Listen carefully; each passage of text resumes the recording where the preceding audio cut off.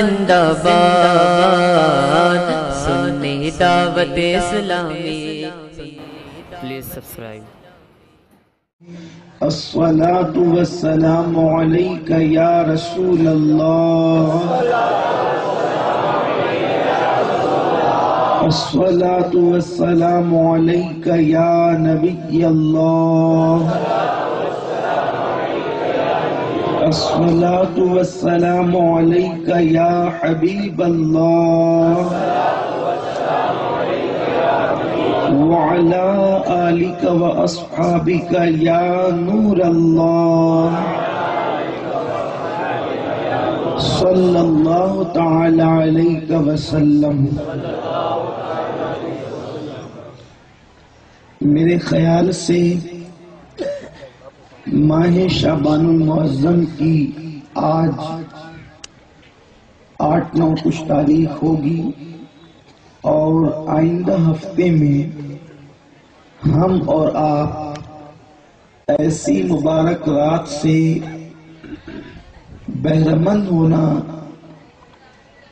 اور اس کی سعادت پانا چاہتے ہیں کہ یقیناً اللہ تبارک و تعالی جس پر خاص کرم فرمائے اسی کو اس رات کی برکتیں نصیب ہوتی ہے اسے ہم اور آپ لیلت البرا بھی کہتے ہیں یعنی شب برات کے نام سے اس مبارک رات کو جانتے اور پہچانتے ہیں۔ میرے پیارے آقا صلی اللہ تعالی علیہ وسلم کے پیارے دیوانوں، وقت میں اگر گنجائش رہی تو آج یہ پیغام دینے کی سعادت حاصل کی جائے گی اس جشن شفیق ملت اور سنی اجتماع کے اندر کہ ہم شب برات سے پہلے کیا کریں اور شب برات کے اندر کیا کریں۔ اس لیے کہ شب برات میں اسی کی مغفرت ہوتی ہے جو اس سے پہلے کے اعمال کرتا ہے۔ اگر وہ شب برات کے پہلے کے اعمال نہ کرے، تو شب برات میں وہ مغفرت سے محروم رہ جاتا ہے۔ میرے پیارے آقا صلی اللہ تعالی علیہ وسلم کے پیارے دیوانوں، آخر اللہ تبارک و تعالی ضرورت سے تو یقیناً پاک ہے۔ اسے کوئی ضرورت کسی کی نہیں، وہ اسمد ہے، وہ بے نیاز ہے۔ جب کوئی نہ تھا، تب وہ اپنی شان کے ساتھ خدا تھا۔ تب کوئی، جب کوئی نہ رہے گا تو بھی وہ اپنی شان کے ساتھ خدا رہے گا۔ اسے نہ کسی کی ضرورت تھی، نہ ہے، نہ رہے گی۔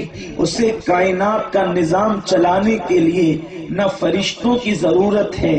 اسے کسی کو ہدایت دینے کے لیے نہ کسی مسئلے کی ضرورت ہے، نہ کسی مقرر کی ضرورت ہے، نہ کسی خطیب کی ضرورت ہے۔ اگر کوئی سجدہ نہ کرے تو بھی اسے کوئی فرق نہیں پڑتا۔ ساری دنیا سجدے میں گر جائے تو بھی اس کا کوئی فائدہ نہیں ہوتا۔ ساری دنیا اللہ نہ کرے، شرک اور کفر میں ڈوب جائے تو بھی اس کو کوئی فرق نہیں پڑتا۔ ساری دنیا مومن ہو جائے تو بھی اسے کوئی فائدہ نہیں ہوتا۔ ہر آن اس کی نئی شان ہے، اس کی مثال نہیں، اس کی مثل نہیں۔ پھر بھی وہ کریم قرآن مقدس کے اندر کہیں فرماتا ہے توبو اللہ اللہ کی بارگاہ میں توبہ کرو۔ کہیں کہتا ہے ففرو اللہ دوڑو اللہ کی طرف۔ کہیں پر کہتا ہے، لا تقنطو من رحمت اللہ اللہ کی رحمت سے مایوس نہ ہونا۔ کہیں کہتا ہے، کہاں جاتے ہو؟ اللہ کی طرف رجوع کرو۔ اللہ کی طرف پلٹو۔ جب اللہ کو نہ ہماری ضرورت ہے ہماری عبادتوں کی ضرورت ہے تو کبھی شب معراج دیتا ہے تاکہ بندے اب قریب آ جا۔ کبھی شب برات دیتا ہے تاکہ بندے اب قریب آ جا۔ کبھی شب قدر دیتا ہے تاکہ بندے اب قریب آ جا۔ بلکہ شب معراج، شب برات اور شب قدر کا حال تو یہ ہے کہ اللہ اکبر اگر لوگ معافی نہیں بھی مانگے تو بھی اللہ لوگوں کو معاف کرتا ہے۔ میرے آقا صلی اللہ اللہ تعالی علیہ وسلم نے فرمایا، شب برات وہ رات ہے کہ اللہ اکبر بنو کلب کی بکریوں کے بالوں کی تعداد کے برابر اللہ لوگوں کی مغفرت فرماتا ہے اور ایسوں کو بخش دیتا ہے جن پر جہنم کا عذاب لازم ہو چکا تھا، جن کا نام جہنمیوں کی فہرست میں لکھا جا چکا تھا۔ اللہ تبارک و تعالی ایسوں کو بھی اس رات بخش دیتا ہے۔ میرے پیارے آقا صلی اللہ اللہ تعالی علیہ وسلم کے پیارے دیوانوں آخر اسے وہ ایسا کیوں کرتا ہے؟ وہ ہمیں یہ کیوں کہتا ہے؟ پلٹو اللہ کی طرف، دوڑو اللہ کی طرف، آؤ اللہ کی طرف۔ اسے تو ضرورت نہیں ہے۔ دراصل بات یہ ہے کہ وہ جانتا ہے کہ ہم پاپی ہیں، وہ جانتا ہے کہ ہم مجرم ہیں، وہ جانتا ہے کہ ہم گنہگار ہیں، وہ جانتا ہے کہ ہم سیاکار ہیں اور اسے ضرورت بھی نہیں ہے۔ اس لیے کہ ایک ماں کے اگر دس بیٹے ہوں اور ایک ہی بیٹا ماں کو سنبھال لے، تو ماں کو نو کی ضرورت نہیں رہتی۔ لیکن وہ نو جو گدار ہیں ان سے بھی ایسا ہی پیار کرتی ہے، جیسا کہ وفادار سے پیار کرتی ہے۔ اسے وفاداری سے اور غداری سے لینا کیا ہے؟ اس کی تو ممتا اسے مجبور کرتی ہے کہ وہ سب سے پیار کرے۔ بلا تشبیہ اور بلا تفصیل، ایک ماں اپنے بچے سے جتنا پیار کرتی ہے، اس سے کروڑوں درجہ زیادہ اللہ اپنے بندوں سے پیار کرتا ہے۔ اس کے وفادار بندوں میں اس کا محبوب محمد الرسول اللہ ہے، جس نے پوری پوری رات عبادت کی ہے۔ اس کے وفادار بندوں میں موسیٰ کلیم اللہ ہے، یا ابراہیم خلیل اللہ ہے، اسماعیل زبی اللہ ہے۔ وہ اتنے وفادار ہے کہ اللہ کی محبت میں بیٹے کی گردن پر چھری تک رکھ دیتے ہیں۔ اللہ کی محبت میں ابراہیم آگ میں تک کود جاتے ہیں۔ وہ اتنے وفادار لوگ ہیں کہ ایوب کے جسم میں بظاہر کیڑے پڑ جاتے ہیں۔ لیکن پھر بھی زبان پہ شکوہ نہیں آتا۔ جناب یوسف کو بیس سال تک کے قید میں رکھا جاتا ہے۔ پھر بھی زبان پہ شکوہ نہیں آتا۔ جناب زکریا کو اس کی محبت میں آرے سے چیل دیا جاتا ہے۔ پھر بھی کوئی اللہ اکبر زبان پہ شکوہ نہیں آتا۔ اسی طریقے سے دیکھ لیں، جناب عیسیٰ کو سولی پر لے جانے کا منصوبہ بنایا جاتا ہے۔ لیکن اللہ اپنے کرم سے ان کو آسمانوں پر اٹھا لیتا ہے۔ لیکن زبان پر کوئی شکوہ نہیں آتا۔ غرض کے آپ دیکھیں، جناب آدم اتنے وفادار ہیں کہ ایک خطہ اجتہادی پر دو سو سال تک کے روتے اور آہیں بھرتے نظر آتے ہیں۔ جناب یونس اتنے وفادار ہیں کہ مچھلی کے پیٹ میں بھی اس کا ذکر کرتے ہیں۔ نو اتنے وفادار ہیں اور اتنے فرما بردار ہیں کہ اللہ اکبر، سگا بیٹا سامنے کھڑا ہے۔ اللہ کی گداری اور مخالفت میں اس کو ڈوبتا ہوا دیکھنا تو گوارا کرتے ہیں، لیکن اس کو کشتی میں لے کر خدا کی نافرمانی کرنا گوارا نہیں کرتے۔ یہ تو انبیاء کی وفاداری ہے۔ صدیق با وفا، اتنا وفادار کہ اللہ کی محبت میں پورا مال لا کر پیش کر دیا۔ عمر کا حال یہ ہے، روتے روتے چہرے پہ آنسوؤں کے نشان پڑ گئے۔ عثمان کا حال یہ ہے کہ پوری دولت خدا کی راہ میں قربان کر دی۔ عبد الرحمان ابن عوف نے اپنا مال داؤ پر لگا دیا۔ خالد ابن ولید نے اپنی جان کو جنگوں میں یوں پیش کیا کہ انگلی کے پورے کے برابر بھی ان کے جسم پر کوئی نشان ایسا نہ تھا، کوئی ایسی جگہ نہ تھی جہاں تلوار اور تیروں کے زخموں کا نشان نہ ہو، حمزہ نے کلیجہ چپا دیا، بلال نے کوڑے کھائے، سہیب جو ہے اللہ اکبر مارے گئے، کپڑے پھاڑے گئے خباب کو انگاروں پر لٹایا گیا، جناب سعید کو سولی پر لٹکایا گیا، اسی طریقے سے اویسے کرنی کو ستایا گیا۔ اللہ اکبر، یہ کتنے وفادار ہیں۔ اس کے بعد وفاداروں کی ایک الگ فہرست مرتب ہوتی ہے۔ امام اعظم کو جیل میں رکھ کر کے زہر کھلایا گیا، اس کی محبت میں زہر پی لیا، لیکن اللہ اکبر منصور کی کھال کھینچی گئی اور سولی پہ لٹکایا گیا۔ لیکن منصور نے کہا، اگر یار اسی میں راضی ہے، تو منصور کو سولی کا کوئی کم ہی نہیں ہے۔ اللہ اکبر جناب ابو الحسن شازلی کو وطن سے باہر نکالا گیا، امام بخاری کو شہر بدر کیا گیا، تڑپایا گیا۔ گیا۔ غوث العظم چھتیس سال تک کے بغداد کے ویرانوں میں درخت کی پتیاں کھا کر عبادت کرتے رہے۔ اس کے بعد عشاء کے وضو سے چالیس سال تک فجر کی نماز پڑھتے رہے۔ غریب نواز ستر سال تک زمین کو پیٹ نہ لگائی۔ دن کو بھی عبادت کی، رات کو بھی عبادت کی۔ مختوم اشرف نے تک تو تاج چھوڑا۔ اللہ اکبر، اسی طریقے سے دیکھیں۔ ہر ولی، ہر بزرگ ہر اللہ کا مقبول بندہ خدا کی عبادت میں مصروف ہے، لیکن پھر اسے کیا ضرورت ہے؟ وہ مجھ جیسے پاپیوں کو کہتا ہے۔ ففروا اللہ میری طرف آ۔ آپ جیسے مجرموں کو کہتا ہے، میری طرف آ۔ اس لیے کہ بتانا یہ چاہتا ہے کہ میں نے ماں کے اندر اپنی محبت کا ذرہ رکھا، تو ماں فرما بردار اور وفادار دونوں کو سینے سے لگاتی ہے۔ اگر میں صرف فرما برداروں کو اپنے قریب بلاؤں گا تو لوگ تانا دیں گے۔ ماں کی محبت، خدا کی محبت سے آگے نکل گئی۔ تو میں مجرموں کو بھی بلاتا ہوں۔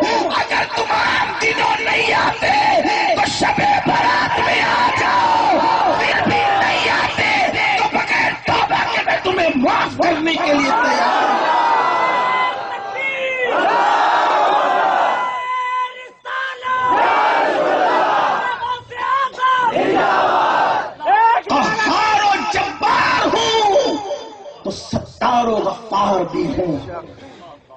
میں تمہاری توبہ کا محتاج نہیں۔ توبہ کی توفیق دے کر کبھی معاف کرتا ہوں، بغیر کبھی توبہ کے، بغیر توبہ کے معاف کرتا۔ ایسی راتیں ہی رکھی کہ نہیں آنے والا بھی مسجد میں آتا ہے، نہیں نہانے والا بھی نہاتا ہے، نہیں قرآن پڑھنے والا بھی قرآن اٹھاتا ہے۔ ذرا غور کرے توفیق بھی وہی دیتا ہے، بلاتا بھی وہی ہے، معاف بھی وہی کرتا ہے۔ وہ توفیق نہ دے۔ تو بڑے بڑے پارسا مسجد نہ جا سکے۔ اور وہ توفیق دے تو بڑے بڑے پاپی تحجد گزار بن جائیں۔ کیا آپ کو نہیں پتا؟ آپ کو نہیں معلوم۔ اللہ اکبر، ایک شرابی شراب پی کر اللہ کا نام لے رہا ہے۔ وہاں سے حضرت حسن بصری کا گزر ہوتا ہے۔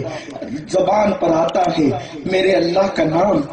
اور وہ بھی ناپاک زبان سے شراب کی حالت میں منہ دھلا اور دھل کر گھر کی طرف گئے۔ پانی گرا ہوا دیکھا، شراب کا نشہ دور ہوا۔ تو کہا کہ میرا منہ کس نے دھلایا؟ لوگوں نے کہا کہ تو شراب کی نشے میں اللہ اللہ کہہ رہا تھا۔ حسن بصری کو غیرت آئی اور کہا کہ میرے پاک اللہ کا نام ناپاک زبان سے اس نے تیرا منہ دھلایا۔ اللہ اکبر، پھر کیا تھا؟ حسن بصری تحجد پڑھنے کے لیے مسجد میں گئے۔ تو اپنے سے پہلے کسی کو سجدے میں روتے ہوئے پایا، جب گئے اور پوچھا کہ آج آخر بسرا میں کون سا نیا نمازی آ گیا جو مجھ سے پہلے بھی مسجد میں آتا ہے، تو سر سجدے سے اٹھا کے کہتا ہے، حسن بصری، تو نے میری زبان اللہ کے لیے دلائی، اللہ نے تیرے لیے میرا دل دھو دیا اور مجھے توفیق دی کہ تجھ سے پہلے مسجد میں آ جاؤں۔ غور فرمائے، اگر وہ شرابیوں کو توفیق دے تو حسن بصری سے پہلے مسجد پہنچ جائے اور اللہ اکبر، وہ توفیق چھین لے تو پھر انسان پارسا سے پڑھ کر پارسا ہو، تو اسے مسجد میں آنے کی توفیق نہ ہو۔ وہ باتیں بناتا رہے۔ تو میرے پیارے آقا علیہ السلام کے پیارے دیوانوں، میرے آقا نے فرمایا، بنو کلب کی بکریوں کے بالوں کی تعداد کے برابر۔ یہ بنو کلب کون تھے؟ یہ بنو کلب وہ لوگ تھے کہ ایک ایک آدمی کے پاس اتنی بکریاں تھی کہ دو پہاڑ کی چوٹیوں کا جو دامن تھا وہ سب ایک ایک آدمی کے ریوڑ سے بھر جاتی تھی۔ اور بنو کلب جو ہے، ایک قبیلہ تھا عرب کا۔ یعنی بکریوں میں وہ سب سے زیادہ مشہور تھا بکریاں پالنے میں۔ تو آقا نے کثرت بتانے کے لیے کہا کہ شب برات میں اللہ اپنے بندوں کو اتنی تعداد میں بخشتا ہے جتنی بنو کلب کی بکریوں کے بال ہیں ارے ایک بکری کا بال گن نہیں سکتے۔ تو ایک ریوڑ کی بکریوں کے بال کیسے گن سکتے ہیں؟ اور جب ایک ریوڑ کی بکریوں کے بال نہیں گن سکتے تو اللہ اکبر وہ بنو کلب کی بکریاں اللہ اکبر یہ تو اللہ ہی جانے کسے کسے بخشتا ہے۔ بس میں اس رات کی کے, حوالے سے کچھ عرض کرنا چاہتا ہوں لیکن آقا نے جہاں فرمایا کہ وہ سب کو بخش دیتا ہے۔ کہنے کا مطلب یہ کہ وہ سب کو بخش دیتا ہے۔ تم نے جو جو پاپ کیے سب کو بخش دیتا ہے۔ لیکن کچھ ایسے لوگ ہیں جو اس رات بخشے نہیں جاتے۔ اور جو وہ رات بخشا نہیں گیا، پھر وہ کبھی بخشا نہیں جائے گا۔ اس لیے آقا نے ان کی نشاندہی کر دی۔ آقا نے ان کی علامت بتا دی کہ اگر تم اس جرم میں مبتلا ہو تو اس سے باہر نکل آؤ تاکہ اللہ تمہیں بخش دے۔ اللہ تمہیں بھی معاف کر دے۔ پہلے نمبر پر، جسے اللہ شب برات میں نہیں بخشتا، جب تک وہ اس فیل سے توبہ نہ کر لے اور اس سے باہر نہ نکل آئے، اسے کہتے ہیں جادوگر یعنی دوسروں پہ جادو کرنے والا یا جادو کرانے والا۔ اب یہاں پر تھوڑی دیر میں آپ کی ذہن سازی کرنا چاہتا ہوں اور اپنی بہنوں کو بھی یہ پیغام دینا چاہتا ہوں۔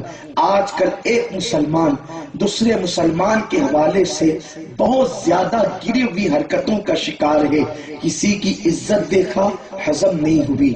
کسی کے پاس مال دیکھا ہضم نہ ہوا۔ کسی کے پاس خوبصورت عورت دیکھا ہضم نہ ہوا۔ کسی کے پاس زیادہ بیٹے دیکھے ہضم نہ ہوا۔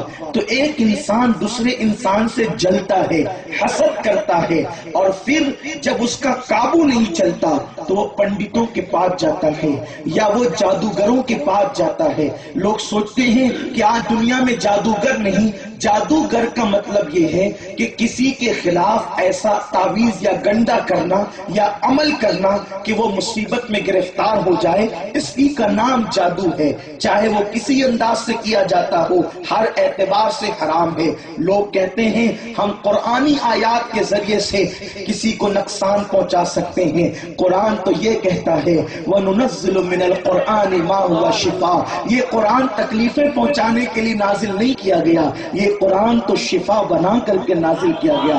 قرآن بیماری نہیں ہے، قرآن تو شفا ہے۔ جتنے بھی تعویز گنڈے والے، کسی پر عمل کرتے ہیں نقصان پہنچانے کے لیے، وہ قرآن کی آیت پڑھ کر کے عمل نہیں کرتے، بلکہ وہ جنتر منتر، گندے اعمال کر کے عمل کرتے ہیں۔ اور جو ان کے پاس جاتے ہیں، اللہ ان سے اتنا ناراض ہوتا ہے کہ جس دن گئے، اس دن سے لے کر چالیس دن تک، اللہ نہ ان کی نمازیں قبول کرتا ہے، نہ ان کے روزے قبول کرتا ہے، نہ ان کی دعائیں قبول کرتا ہے۔ حتیٰ کہ اگر اسی چالیس دن کے اندر اندر وہ مر جائیں تو اللہ انہیں کفر کی موت عطا کرتا ہے۔ میرے پیارے آقا صلی اللہ علیہ وسلم کے پیارے دیوانوں، اس لیے خدا کے لیے کسی کا برا نہ چاہو، سب کا بھلا چاہو۔ اچھا ایک بات آپ مجھے بتائیں، اگر ساری دنیا مل کر کے کسی کا برا چاہے اور اللہ اس کا بھلا چاہے، تو آپ نے اس کا بگاڑ کیا لینا ہے۔ میرے پیارے آقا صلی اللہ علیہ وسلم کے پیارے دیوانوں، یہودیوں نے میرے آقا سے کتنا حسد کیا، لیکن یہود مٹ گئے۔ آج مدینے میں ان کا نشان نہیں ہے، لیکن پوری دنیا کے اندر میرے مصطفیٰ کے ڈنکے بج رہے ہیں۔ صرف دنیا ہی نہیں بلکہ عرش پہ بھی ان کے ٹنکے ہیں اور فرش پہ بھی ان کے ٹنکے ہیں۔ عرش پہ تازہ چھیر کھاؤ فرش پہ طرفہ بھوم کھاؤ کان جدھر لگائیے، تیری ہی داستان ہے۔ فرش والے، تیری شوکت کا علو کیا جانے؟ خسروا عرش پہ اڑتا ہے فلیرا تیرا۔ میرے پیارے آقا علیہ السلام کے پیارے دیوانوں یہود کا شہر مدینہ تھا، لیکن جب انہوں نے حسد کیا کہ ان کو نبوت ملی، ہمیں کیوں نہیں ملی؟ اللہ جانتا ہے کس کو کیا دینا چاہیے۔ حیثیت دیکھ کر کے اللہ دیتا ہے۔ اللہ کی نعمت ہر کسی کے لیے نہیں ہے۔ تو مسلمانوں، اگر کسی کو اللہ نے پانچ چھ بیٹے دیا، ہمیں خوش ہونا چاہیے۔ اللہ تیرا شکر ہے۔ اور عطا کر اور اس کے صدقے مجھے بھی عطا کر۔ یہ کیوں سوچتے ہو کہ اس کے مر جائے اور مجھے مل جائے؟ اسے نہ ملے اور مجھے مل جائے۔ اس کے خزانے میں کوئی کمی ہے؟ ارے وہ تجھے بھی ہزاروں دے سکتا ہے اور اس کو بھی دے سکتا ہے۔ پھر بھی اس کا خزانہ کم نہیں ہوگا۔ ایک دوسرے پر جادو، کسی کا کاروبار اچھا چلتا ہے تو ہم اس کے خلاف جادو کرتے۔ اس کا کچھ نہیں بگڑتا۔ ایک نہ ایک دن تو اللہ اس کے لیے ایسی راہیں پیدا کر دیتا ہے کہ نثار باپو جیسے لوگ مل جاتے ہیں، دادا باپو جیسے لوگ مل جاتے ہیں، پیر باپو جیسے لوگ مل جاتے ہیں اور اس کے بعد وہ لوگ دعا کر دیتے ہیں، تو شہر کی حیثیت کیا ہے؟ اچھا، آل نبی کے ہاتھ کسی کے لیے اٹھ جائیں، علی کی اولاد کسی کے لیے دو جملے کہہ دیں جادو کی زنجیروں کی حیثیت کیا رہتی ہے؟ اللہ اس کے لیے کوئی نہ کوئی تو انتظام کر دیتا ہے۔ لیکن تمہارا کیا؟ اس لیے کہ کسی کو جلانے والوں تم سکھ کی نیند نہیں سو سکتے۔ تم اطمینان کی نیند نہیں سو سکتے۔ اس لیے میرے آقا صلی اللہ علیہ وسلم نے فرمایا، جادوگروں کی بخشش نہیں ہوتی۔ آج کل بہت سے گھرانوں کی بچیاں تیس تیس سال، پینتیس پینتیس سال کی ہو کے بیٹھی ہوئی ہیں۔ ماں باپ روتے ہوئے آتے کہتے ہیں، باپ وہ دعا کرے۔ کوئی استخارہ کرتا ہے تو پتا چلتا ہے کہ اس کے رشتے کو باندھ دیا گیا۔ روزی اچھی چل رہی تھی، اچانک ڈھپ پڑ گئی۔ باپو دعا کرے۔ استخارہ کرنے پہ پتا چلا کہ سحر کر دیا گیا، جادو کر دیا گیا۔ اور کون کر رہا ہے؟ مسلمان مسلمان۔ بلکہ بڑی معذرت کے ساتھ۔ کچھ ریاستیں ہندوستان کی ایسی ہے جہاں جادو کا زور ہے۔ ان میں سے ایک آپ کا گجرات بھی ہے۔ مسلم عورتیں پنڈتوں کے پاس جا رہی ہیں یہ صورت حال ہے۔ ذرا سوچو تو صحیح۔ غیر مسلم کہتے ہیں کہ ہم ان سے پیسے بھی لیتے ہیں اور ان کی آبرو بھی لیتے ہیں۔ یہ میں، مجھے، میں وہاں براول اور جوناگڑھ کے علاقے میں گیا تو وہاں کے علماء نے سادات کرام نے مجھے بتایا کہ اس عنوان پر آپ گفتگو کریں، بتائیں۔ اور سوچو تو صحیح، تم کسی کا برا کر کے اپنا اچھا نہیں کرو گے، کیونکہ یہ مخلوق اللہ کا کنبا ہے۔ تم کسی کو ستاؤ گے، اللہ تمہیں چین کی نیند نہیں دے گا۔ اور اگر تم نے کسی کا بگاڑا کیا، کسی کو تکلیف پہنچائی، تو ایسے گھٹ گھٹ کے مرو گے۔ کہ مرنے کی دعا کرو گے تو بھی موت نہیں آئے گی۔ بھلا کرو، بھلا ہوگا۔ برا کرو گے، برا ہوگا۔ اس لیے اگر زندگی میں کسی کے لیے اچھا نہیں کر سکتے، تو اس کے لیے برا بھی مت کرو۔ اللہ پر چھوڑ دو۔ اگر کوئی تم سے دشمنی کرے، کوئی تمہیں ستائے، کوئی تمہیں تکلیف پہنچائے، اللہ پہ چھوڑ دو۔ اللہ یہ مجھے ستا رہا ہے۔ اگر میں بدلہ لوں گا، تو اپنی طاقت کے مطابق لوں گا۔ اور تو بدلہ لے گا، تو اپنی شان کے مطابق لے گا۔ اس لیے کسی سے لڑنے کی کوشش نہ کرو۔ ارے، اپنے نبی سے سیکھو تو صحیح۔ اپنے آقا کی محبت کے دم بھرتے ہو یا رسول اللہ کے نعرے لگاتے ہو اور کہتے ہیں کہ حضور کے نام پہ ہم قربان ہو جائیں گے۔ کیا میرے آقا نے جان کے دشمنوں کو دعائیں نہیں دی؟ اور آج ہم اتنے کمزرف ہو گئے کہ حضور کافروں کو دعا دیتے ہیں اور ہم مومنوں کو دعا نہیں دے سکتے، ہم مسلمانوں کو دعا نہیں دے سکتے۔ کیا تمہیں نہیں پتا؟ آج یہ میں تمہیں بتاؤں، آپ نے تو بار بار سنا ہوگا، اللہ اکبر، بہت کا میدان ہے۔ میرے آقا کریم صلی اللہ علیہ وسلم کے سگے چچا امیر حمزہ کو شہید کر دیا گیا ہے اور بھی صحابہ کو شہید کیا گیا ہے امیر حمزہ کا سینے چیر کر کے کلیجہ نکال کے چبایا گیا ہے انگلیاں کاٹی گئی ہے کان کاٹے گئے ہیں اور اس پہ کیا ہوا ایک گھوڑے پر آقا تشریف فرما تھے۔ ایک ظالم نے گھوڑے کو یوں دھکا دیا کہ گھوڑا گڑے میں آیا اور حضور علیہ السلام نیچے تشریف لے آئے۔ جانتے ہیں نیچے آنے کا مطلب کیا؟ میں آقا کے لیے یہ نہیں کہہ سکتا کہ حضور نیچے گر گئے۔ خدا کی قسم، میرا نبی گر نہیں سکتا۔ جو گرتوں کا سہارا ہے، وہ کیسے گر سکتا ہے؟ لیکن سمجھانے کے لیے حضور گھوڑے سے نیچے آ گئے۔ اور جب نیچے آئے تو حضور علیہ السلام نے لوہے کی ٹوپی پہن رکھی تھی، وہ کڑیاں حضور کے گالوں میں گھس گئی۔ حضور کے دانتوں کا کنارہ شہید ہو گیا۔ آقائے کریم کا وجود ناز زخمی ہو گیا۔ وہ وجود جو پھول سے زیادہ نازک تھا، وہ نازنین بدن جب اللہ ہو اکبر زخموں سے چور ہو گیا۔ جانتے ہیں، فرشتوں کی چیخیں نکل گئی۔ خود میرے رب نے رب رحمان نے فرمایا، جبریل جلدی جا۔ اس سے پہلے کہ میرے محبوب کا خون زمین پر گرے۔ ہے تو ان کا خون اپنے پروں پر اٹھا لینا۔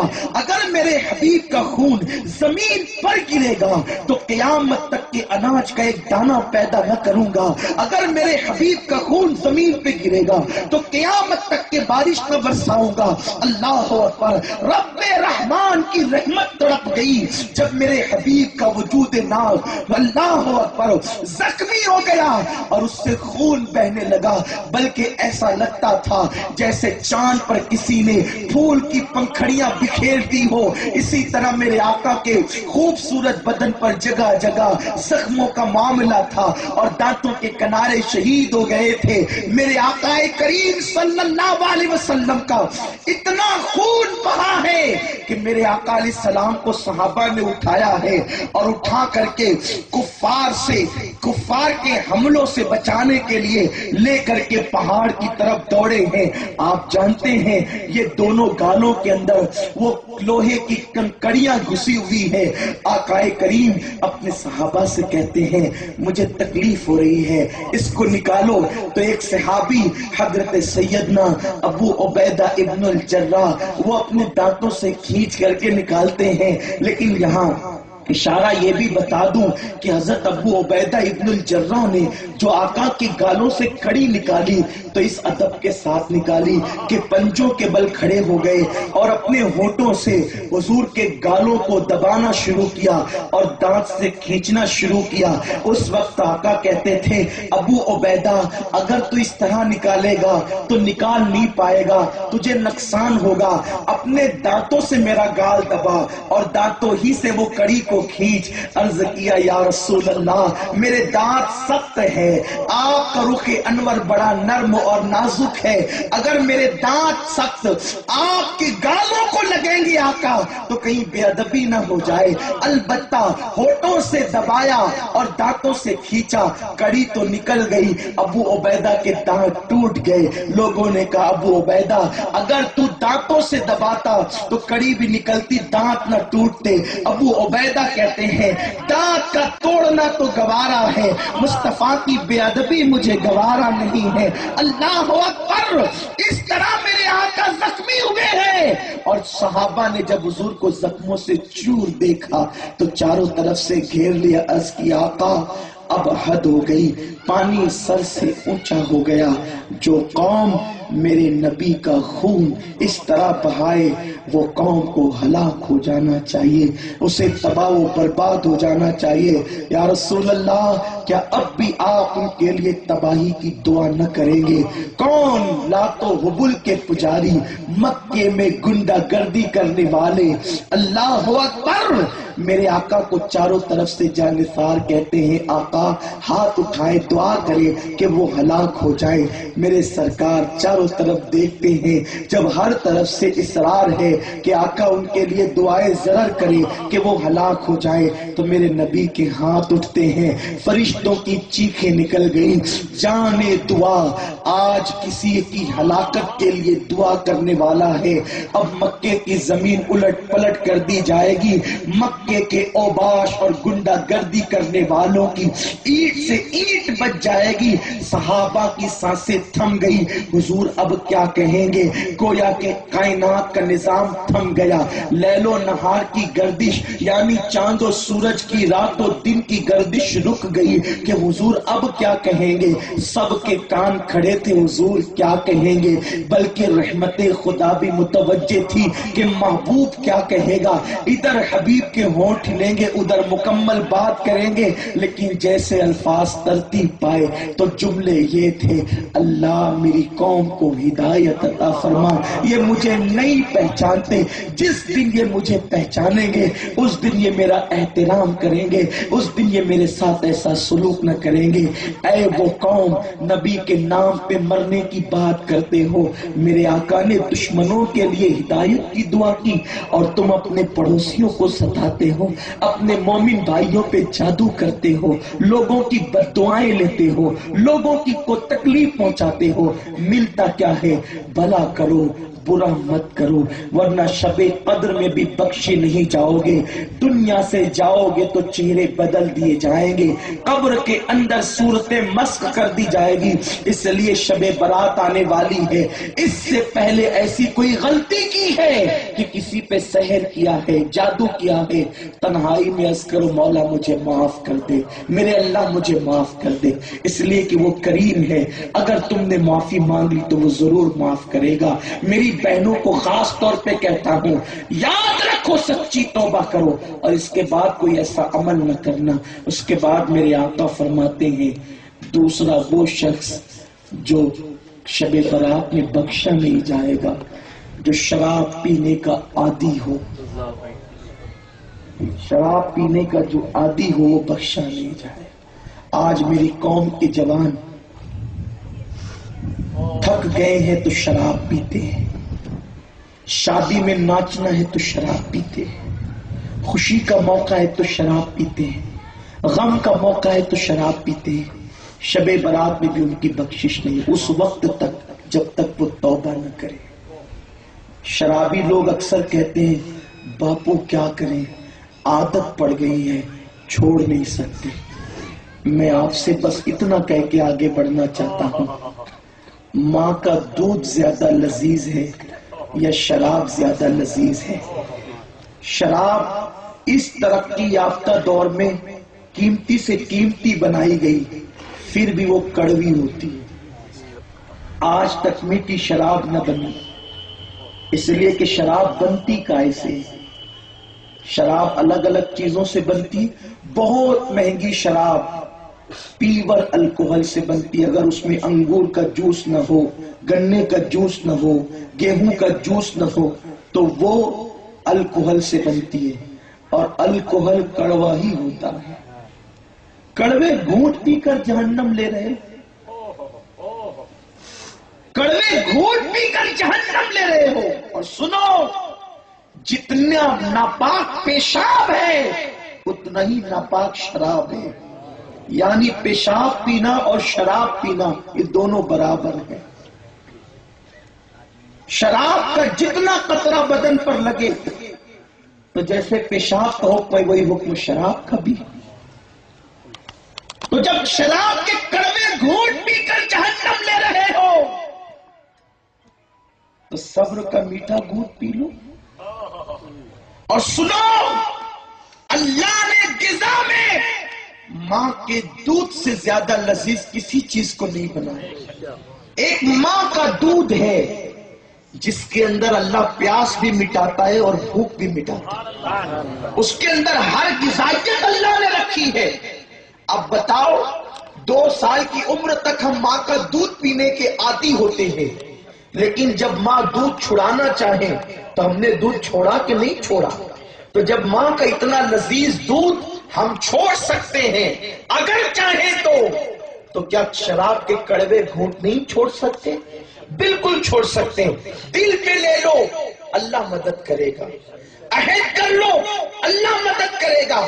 اور شراب کے نقصانات پر میں کئی بیانات کر چکا ہوں۔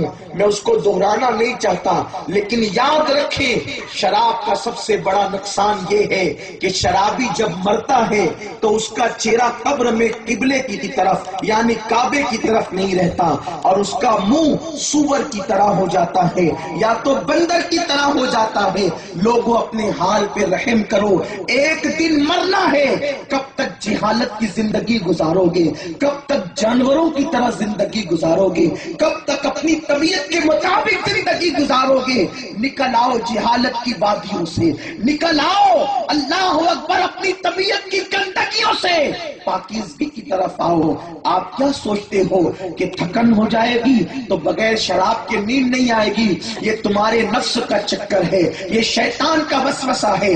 آؤ، پرسکون نیند چاہیے۔ میں تمہیں بتاتا ہوں اگر پرسکون نیند چاہیے نیند نہ آتی ہو وضو کرو اور میرے مصطفیٰ کریم پر درود پڑھو۔ اللہ کی عزت کی قسم اللہ وہ سکون کی نیند عطا کرے گا۔ ارے پوچھو ان بزرگوں سے کہ جو آقا پہ درود پڑھتے ہوئے سوتے ہیں ان کو کیسے سکون کی نیند آتی ہے؟ اسی لیے تو لوگ تمنا کرتے ہیں۔ میں سو جاؤں یا مصطفیٰ کہتے کہتے کھلے آنکھ سلے علا کہتے کہتے۔ اس لیے درود کی کثرت کرو۔ درود میں اللہ نے وہ پاکیزگی رکھی ہے۔ اللہ اکبر۔ ارے جانور درود پڑھتے ہیں تو اللہ انہیں مصیبتوں سے بچا لیتا ہے۔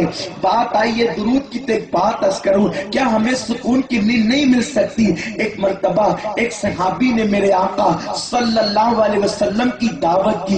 آقائے کریم وقت مقررہ پہ تشریف لے آئے۔ جب حضور آ کر کے بیٹھ گئے۔ صحابی گھر میں پریشان ہے کھانا پکنے کو تیار نہیں۔ جیسے ہی چولہے پہ ہانڈی رکھتے ہیں، آگ بجھ جاتی ہے، ہانڈی ہٹاتے ہیں، آگ جلنے لگتی ہے۔ اندر خوب پریشان رہے۔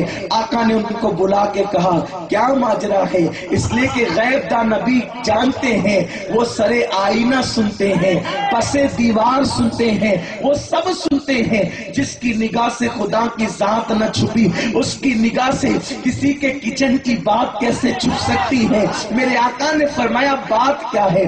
اس کی یا رسول اللہ، بڑا شرمندہ ہوں۔ دعوت تو دی ہے، لیکن کھلا نہیں سکتا۔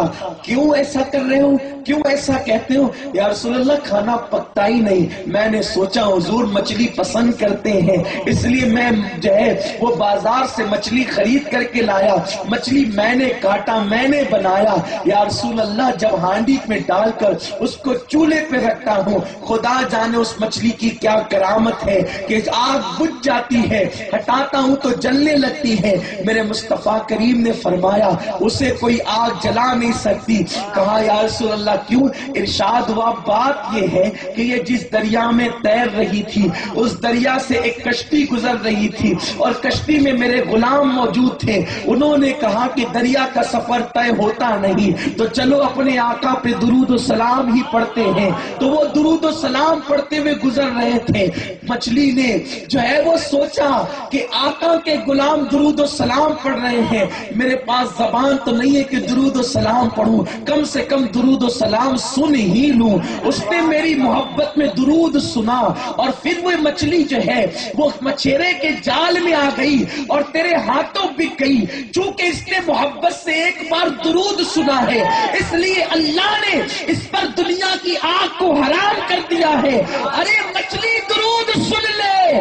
تو دنیا کی آگ ان پہ اثر نہیں کرتی، جو عشق میں ڈوب کر آقا پہ کثرت سے درود پڑے گا۔ کی کیسے کر سکتی ہے؟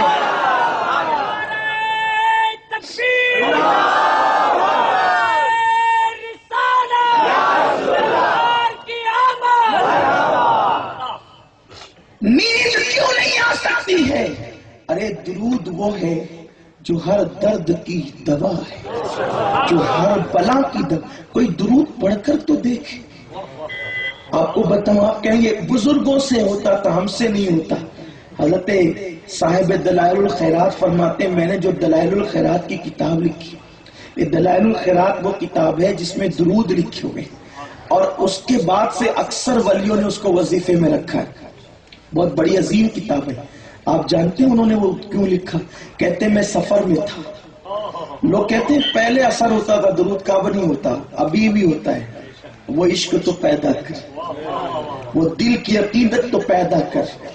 جس زبان سے لوگوں کو گالیاں دیتا ہے، پھر اسی زبان سے درود پڑے گا تو اثر کیا ہوگا؟ جس زبان سے لوگوں کی گیبتیں کرے، اس زبان سے درود پڑے گا تو اثر کیا ہوگا؟ جو دل گندا ہو گیا ہے لوگوں کی عداوت میں، حسد میں، بغض میں، پھر جب اس، وہ دل کی گندگی جب تک دور نہیں ہوگی تو اثر کیا ہوگا؟ فرماتے حضرت سید سلیمان جزولی رحمت اللہ تعالی علیہ کہ میں سفر میں تھا اور حالت سفر میں نماز کا وقت تھا، پیاس کی شدت تھی۔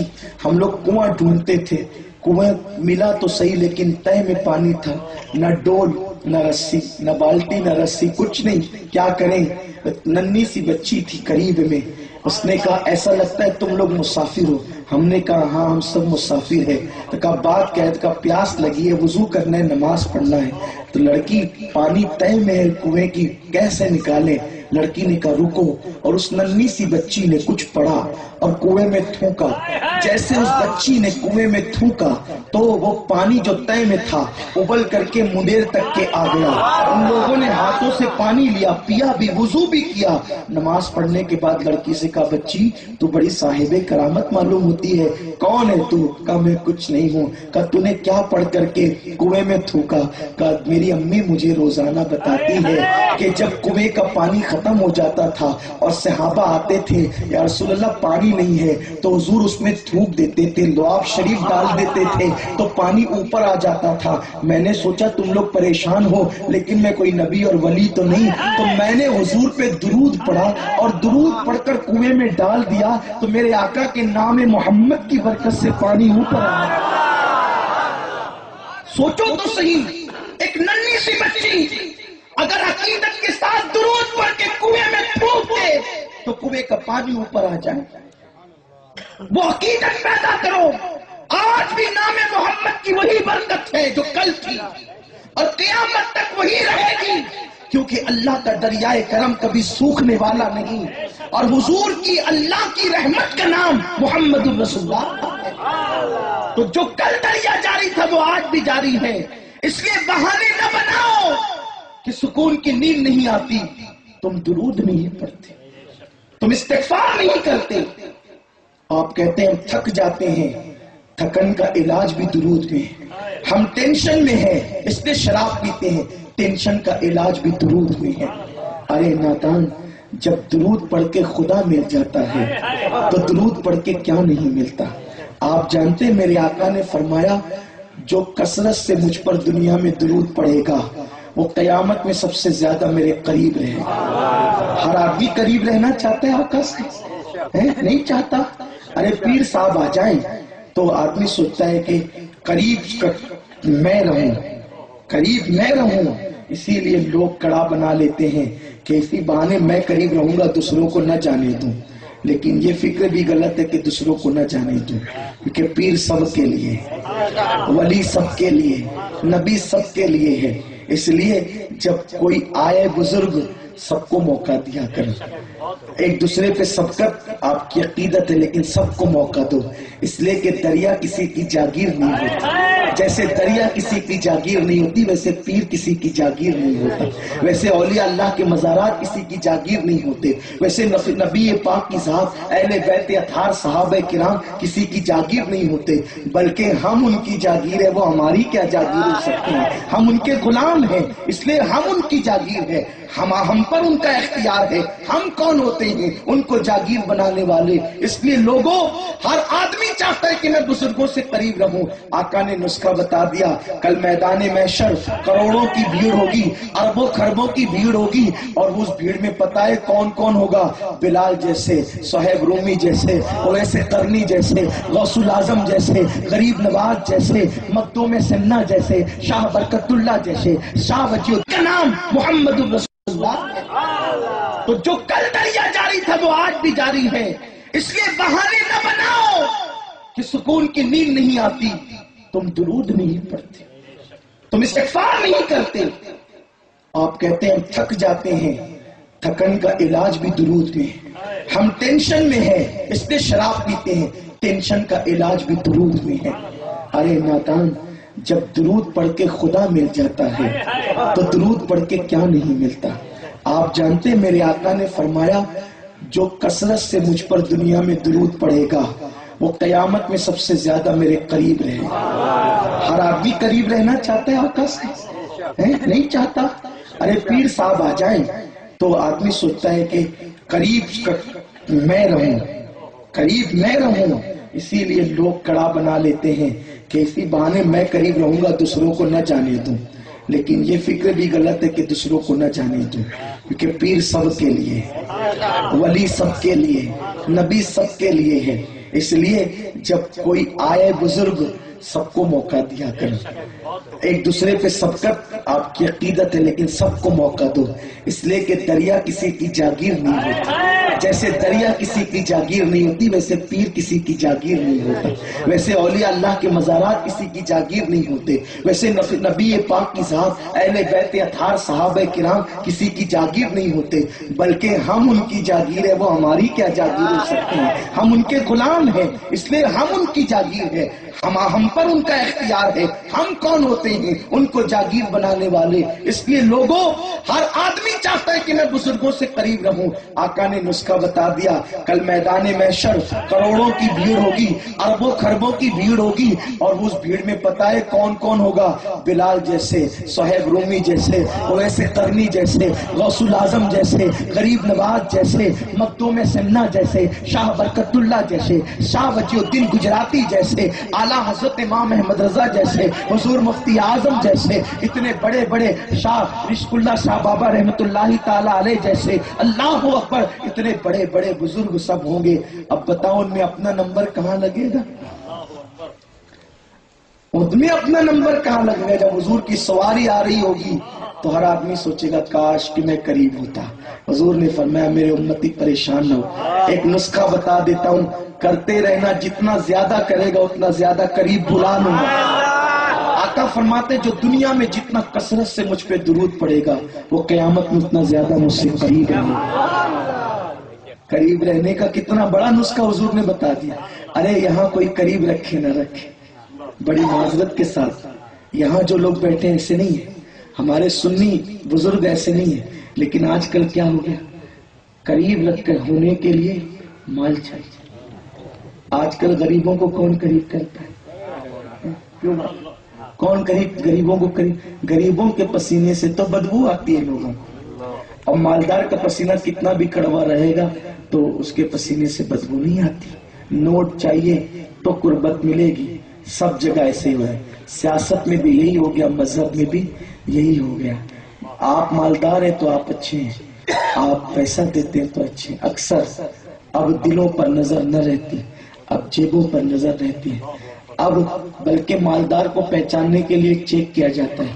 اس کے پاس گاڑی اگر پلسر ہوگی تو کتنا مالدار ہوگا؟ موبائل میں سیمسنگ کا ہوگا، ایپل ہوگا، یا کون سا ہوگا تو ہاتھ دیکھ کر پتا چلے گا کہ کتنا مالدار ہے اور اس کے مطابق پھر برتاؤ کیا جاتا ہے۔ لیکن میں کہتا ہوں، قربان میرے آقا پر، میرے رسول نے امیر و غریب کا فرق مٹایا۔ امیر و غریب کا فرق مٹایا، بلکہ حضور دعا کرتے تھے، اللہ مجھے زندہ رکھ تو غریبوں میں رکھ۔ اور مجھے وصال دے تو غریبوں میں دے اور قیامت میں اٹھا تو غریبوں میں اٹھا۔ غریبوں سے اتنا پیار کیا، ہائے ہائے، اپنے حصے کا لکمہ غریبوں کو کھلایا، اپنی بکریوں کا دودھ دو کر غریبوں کو پلایا۔ میرے آقا نے اتنا پیار دیا اور فرمایا کہ امیروں سے پانچ سو سال پہلے غریب جنت میں جائیں گے۔ میرے رسول نے غریبوں کا کتنا خیال کیا اور آقائے کریم نے یہ نہیں فرمایا، جو کثرت سے حج کرے گا، وہ قیامت میں مجھ سے زیادہ قریب رہے گا۔ ورنہ اللہ اکبر بڑے بڑے مالدار ڈینگے مارتے کہ تاتانیاں کا غریب، دیہاتی مسلمان تو ایک بار بھی پوری زندگی میں حج کو نہ گیا۔ میں تو ہر سال جا رہا ہوں اور ٹور سے جا رہا ہوں اور دو دو مہینے تک وہاں رہتا ہوں۔ تو غریب کہتا، ہائے ہائے، یا رسول اللہ، سب نے مالداروں کو چنا تو آپ نے بھی غریب و امیر میں فرق کر دیا۔ اللہ اکبر، میرے رسول، میرے آقا جانتے تھے، حج ہر امتی نہ کر سکے گا۔ آقا نے یہ بھی نہیں کہا، جو زکات کثرت سے دے گا، وہ قیامت کے دن زیادہ میرے قریب ہوگا۔ حضور نے اتنا آسان اتنا آسان اتنا آسان اتنا آسان عمل بتا دیا، بلکہ اللہ اکبر میرے نبی پہ کروڑوں درود و سلام ہو۔ میرے آقا نے یہ بھی نہیں کہا کہ جو کثرت سے قرآن پڑھے گا، وہ میرے قریب ہوگا۔ حالانکہ یہ سب میرے رسول کی قربت کی نشانیاں ہیں، لیکن عالم کہتے ہیں کہ ہم قرآن زیادہ پڑھیں گے تو جاہلوں سے قریب ہو جائیں گے۔ وہ حافظ کہتے ہیں، ہم اچھا قرآن پڑھیں گے تو زیادہ، حالانکہ یہ بھی قریب ہونے کا عمل ہے۔ حضور نے اتنا آسان کر دیا قریب ہونا۔ مجھ پہ درود پڑھتے جاؤ، قریب ہوتے جاؤ۔ ارے، اتنا آسان عمل ہے کہ دو سال کا بچہ جس نے ابھی بولنا شروع کیا ہے، وہ بھی میرے آقا پہ درود پڑھ سکتا ہے۔ ہے آقا نے کتنا آسان عمل بتایا، کیوں؟ حضور تم پر آسانی چاہتے ہیں۔ تو لوگوں شراب کی طرف نہ جاؤ، یہ شراب ہلاک اور برباد کرنے والا عمل شب برات میں شرابی کی بخشش نہیں ہوتی۔ توبہ کر لو۔ میرا اللہ معاف کرنے کے لیے تیار ہے۔ میرا رب معاف کرنے والا، اس نے وعدہ کیا ہے۔ شب برات دی ہی اس لیے، بلکہ برات کا معنی ہوتا ہے آزاد کرنے۔ آزادی کی رات ہے۔ لوگ یوم آزادی مناتے ہیں، ہم شب آزادی مناتے ہیں۔ یوم آزادی میں ملک آزاد ہوتے ہیں، شب آزادی میں بندے جہنم سے آزاد ہوتے ہیں۔ اس لیے آؤ اللہ کی بارگاہ میں، اور زندگی کا کوئی بھروسہ نہیں، بلکہ شب برات میں توبہ کر لیا کرو۔ کیوں؟ اسی رات لکھی جاتی اس سال کتنے مرنے والے ہیں۔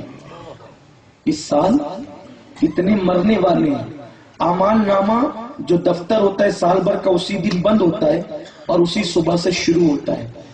تو توبہ کر لو۔ فائدہ کیا ہوگا؟ سب سے آخری میں ہمارا عمل لکھے گا توبہ۔ سب سے اخیر میں اپنا عمل ہوگا توبہ۔ اور سب سے پہلا عمل رجسٹر میں ہوگا توبہ۔ جس کی ابتدا توبہ سے ہو اور جس کے عمل کی انتہا توبہ سے ہو، کریم اس کو نہ معاف کرے گا تو کس کو معاف کرے گا؟ اس لیے اس شب برات کھیل کود کر نہیں گزارنا۔ لوگ سمجھتے ہیں شب برات جاگنے کی رات جاگنے کی رات ہے، اس لیے وہ رات کو جو ہے وہ کبھی ٹی وی دیکھنے بیٹھیں گے، کبھی موبائل پہ گیم کھیلنے بیٹھیں گے، کبھی دوستوں کے ساتھ بات چیت کرنے بیٹھیں گے۔ میں تو کہتا ہوں کہ شیطان اس دن انسانوں کی شکل میں آ کے تم کو باتوں میں لگاتا ہے۔ اتنا قیمتی وقت ہے، چھوڑو سب کو۔ اس رات بیوی، بچے، دوست، احباب کوئی نہیں۔ اس رات صرف اللہ ہی اللہ۔ خوب کثرت سے توبہ کرو۔ خوب کثرت سے درود پڑھو۔ ٹارگٹ بنا لو۔ کم سے کم ایک پارا تو پڑھوں گا۔ ایک ہزار مرتبہ درود پڑھوں گا۔ اتنی رکتیں نفل پڑھوں گا۔ یہ سب قبرستان جاؤں گا۔ قبرستان شب برات حضور کیوں گئے؟ اللہ کے حبیب صلی اللہ علیہ وسلم اس رات قبرستان کیوں گئے؟ اس لیے تاکہ ہم بھی جائیں۔ اور جب ہم قبرستان جائیں تو چونا لگانے قبروں کو نہ جائیں پینٹنگ کرنے نہ جائیں۔ قبرستان جانے کا مطلب یہ ہے کہ وہاں بیٹھیں اور بیٹھ کر کے تھوڑی دیر سوچیں کہ یہ میرا باپ تھا۔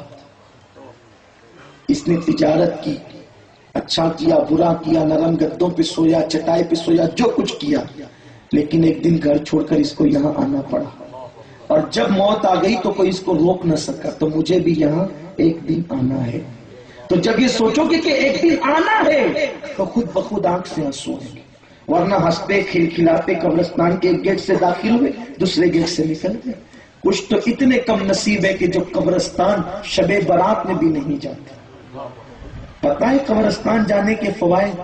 ایک تو دل نرم ہوتا ہے دوسرا میرے آقا فرماتے ہیں صلی اللہ علیہ وسلم کہ جس قبرستان میں تمہارے رشتہ دار رہتے ہیں، جب تم قبرستان آتے ہو تو وہ تمہارے قدموں کی آہٹ بھی سنتے ہیں اور جتنی دیر تم ان کے سرحانے بیٹھتے ہو، وہ خوشی محسوس کرتے ہیں کہ آج کوئی ہم سے ملنے تو آیا۔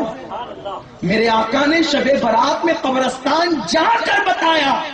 کہ عید کے دن تو تم زندوں سے ملتے ہو اور شب برات اپنے مردوں سے بھی مل لیا کرو، ان کو فراموش نہ کرو۔ باپ کے سرحانے جا کے بیٹھو، باپ دعا دے گا۔ ماں کے سرحانے جا کے بیٹھو، ماں دعا دے گی۔ اور یاد رکھنا، اگر قبر ختم ہو جائے، آپ کو ہڈی بھی نہ ملے، تو یہ نہ سمجھنا کہ مٹی میں مل گیا۔ اپنی نظر کا قصور ہے۔ اگر وہ مومن تھا، وہ قبر میں زندہ ہے۔ کیوں زندہ ہے کیونکہ آقا فرماتے ہیں، قبرستان جب تم جاتے ہو تو تمہارے قدموں کی آہٹ سنتا ہے۔ قدموں کی آہٹ کون سنے گا؟ جو زندہ ہوگا وہی تو سنے گا۔ بلکہ مومن تو مومن ہے، کافر بھی زندہ رہتا ہے قبر میں۔ آپ کہیں گے، یہ کیسے بات ہوئی؟ کہا، بالکل۔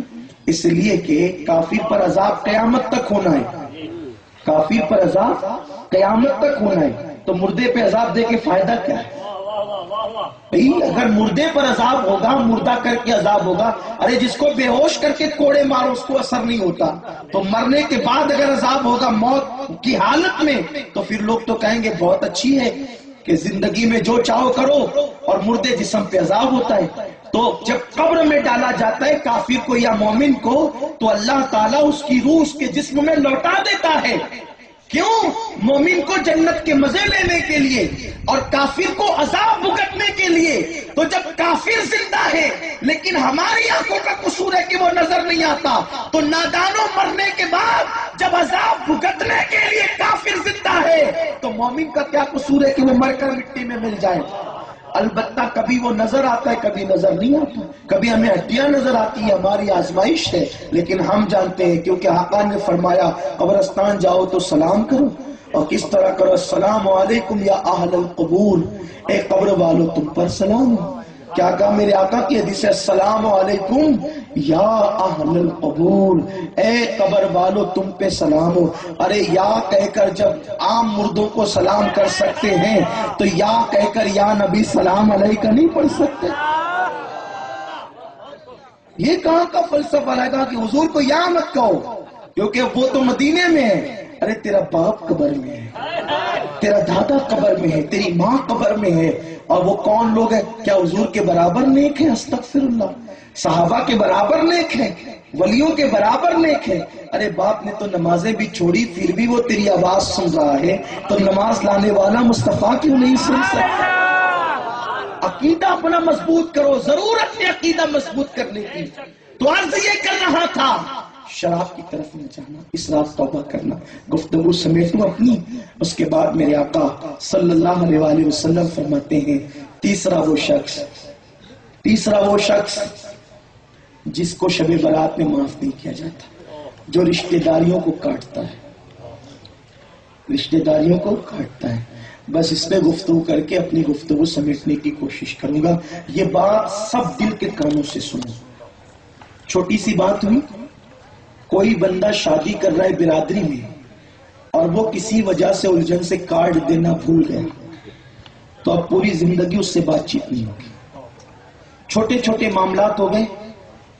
کوئی انبن ہو گئی، ایک بھائی دوسرے بھائی کو کہتے ہیں، آج سے تیرا میرا رشتہ ختم۔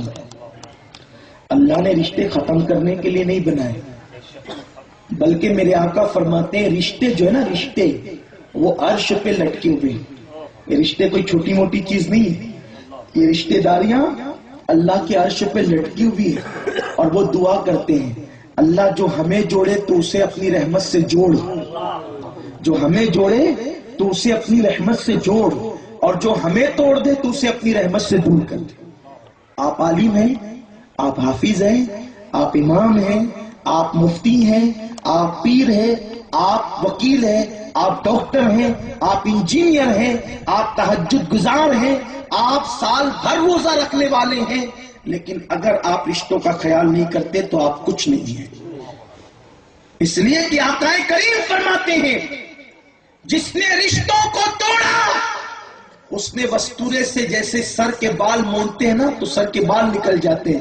تو رشتے وستورا ہے ایمان کے۔ لیے جس نے رشتے توڑا، اس نے گویا کہ جیسے وستورا بالوں کو لگاؤ تو بال نکل جاتے ہیں، ویسے رشتے توڑنے سے ایمان نکل جاتا ہے۔ اس لیے رشتے داروں کا خیال کرو۔ بلکہ میرے آقا فرماتے ہیں، جو تمہیں محروم کرے تم اس کو عطا کرو۔ جو تم سے دور بھاگے تم اس کے قریب جاؤ۔ رشتے نہ توڑو۔ اگر وہ تمہارا بھائی کتنا بھی بڑا جرم کرتا ہے، تم بڑے ہو۔ لوگ کہتے میں بڑا ہوں، میں کیوں معافی مانگوں گا؟ ارے نادان، بڑے اور چھوٹے کی کیا بات ہے؟ میرے آقا علیہ السلام فرماتے ہیں، کسی میں انبن ہو جائے اور جو بات چیت کرنے میں پہل کرے، اللہ اس کو پہلے جنت میں داخل کرے۔ بڑے ہو کر بھی جاؤ۔ اگر اللہ نے تم کو توفیق دی، تم جاؤ، اللہ تم پہ رحم کرے گا۔ آقا نے فرمایا، معافی مانگنے سے کوئی چھوٹا نہیں ہوتا۔ سرکار فرماتے ہیں معافی مانگنے سے کوئی چھوٹا نہیں ہوتا، کوئی ذلیل نہیں ہوتا۔ معافی مانگنے والوں کو اللہ عزت عطا کرتا ہے۔ اور میرے آقا نے کہہ دیا کہ عزت عطا کرتا ہے تو عزت مل کر رہے گی، کیونکہ عزت مصطفیٰ کریم کے صدقے میں ملتی ہے۔ اگر روٹ گئی ہے آپ کی بہن، آپ بڑے ہو، خود سے جا کر کے مناؤ۔ لوگوں کے دل میں محبت پیدا ہوگی۔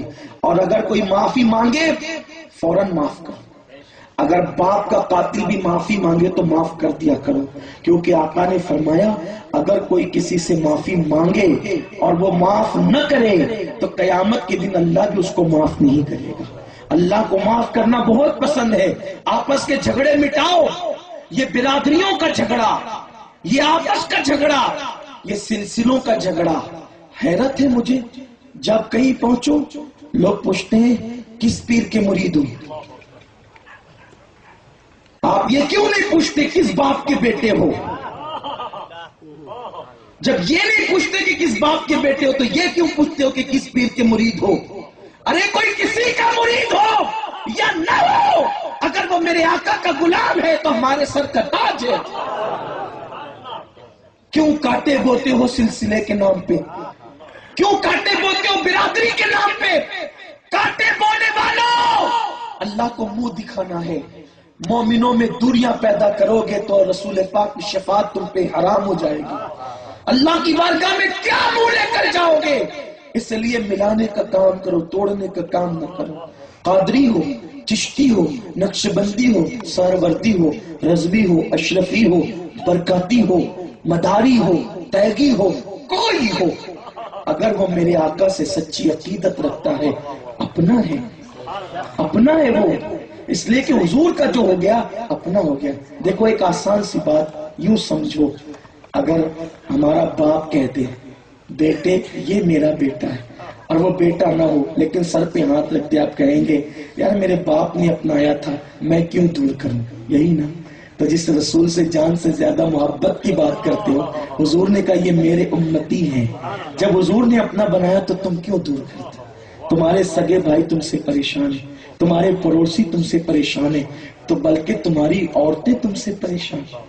میاں بیوی میں تلخیاں ہیں، ایسا گھر گھر اختلاف ہے، شوہر گھر میں آتا ہے، بیوی سے سیدھی بات نہیں کرتا، اس کو مارتا ہے۔ پیٹتا ہے۔ سالن نمک نمک سالن میں زیادہ ہو جائے تو مارتا ہے اور مرچ زیادہ ہو جائے تو مارتا ہے۔ میں پوچھتا ہوں، ذرا سوچ، اگر اللہ تجھے عورت بناتا اور اسے مرد بناتا تو کیا ہوتا؟ اللہ نے تجھ پہ کرم کیا کہ تجھے مرد بنایا۔ اور سوچ تو صحیح جیسے تو کسی کی بہن بیٹی کو اپنے گھر لایا ہے، تیری بہن بھی تو کسی کے گھر جانے والی ہے یا جا چکی ہے۔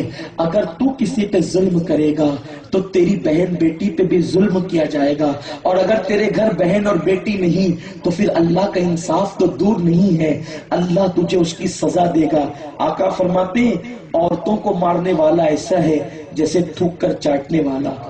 حضور نے فرمایا، بیویوں کو مارنے والا ایسا ہے جیسے تھوک کر چاٹنے۔ ارے، کتنا بھی مارے گا۔ آخر رات اسی کے قریب تو جانا ہے۔ آج نہیں، کل تو جانا ہے۔